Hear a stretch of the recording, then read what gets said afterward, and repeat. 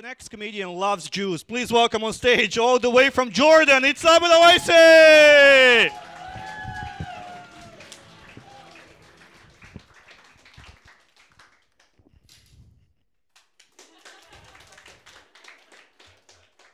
I want to be a dictator.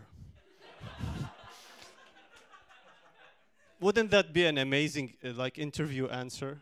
Like if they ask me what what skills do you have, I'm like I want to be a dictator. I really want to. I got asked one of the most retarded interview questions ever. They asked me, "Where do you see yourself in 5 years?" And I said dead. and they were like, "You're hired." Life expectancy at Pyaterochka. Uh,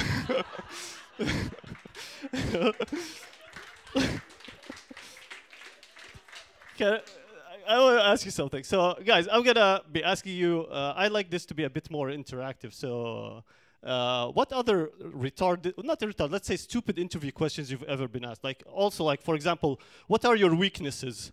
It's like, really, I'm not gonna tell you. I'm not gonna tell you I do comedy. I'm not that stupid. You know, what what would you answer to? What is your what are your weaknesses? Nothing. That's that's actually what. Uh, just stay silent, and they will answer like, "Okay, you're hired. We like you." What would be your? Uh, you're from Jordan, right? Sadly, no. I'm joking. You have the Russian fucking citizenship. Will you marry me? hey, hey, hey. I, I've been doing uh, comedy for six years and I've been asking this fucking question every week once.